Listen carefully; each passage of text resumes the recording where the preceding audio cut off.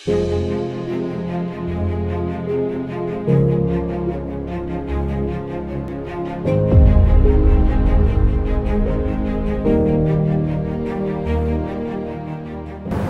กาส 130 ปี กรมวิทยาศาสตร์บริการ กรมวิทยาศาสตร์บริการมีความพร้อมที่จะขับเคลื่อนเศรษฐกิจและสังคมของประเทศ ให้ก้าวไกลด้วยบริการทางด้านวิทยาศาสตร์และเทคโนโลยี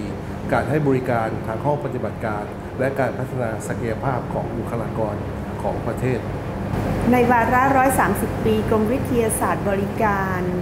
ซึ่งเป็นส่วนราชการทางด้านวิทยาศาสตร์แห่งแรกของประเทศไทย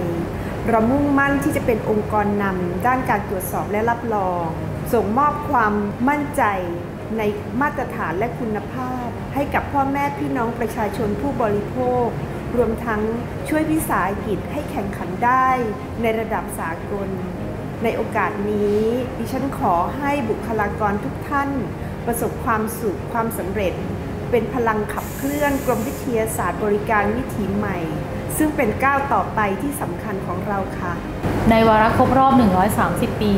ของกรมวิทยาศาสตร์บริการ ซึ่งเป็นหน่วยงานที่มีความเชี่ยวชาญทางโครงสร้างพื้นฐานทางคุณภาพของประเทศ เรามีความพร้อมในการขับเคลื่อนโดยตรวจสอบและรับรอง เพื่อที่จะพัฒนาคุณภาพสินค้าและบริการ ส่งเสริมคุณภาพชีวิตของประชาชน